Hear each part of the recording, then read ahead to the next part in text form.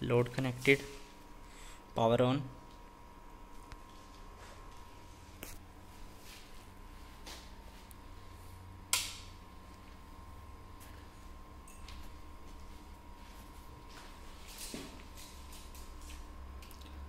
output enable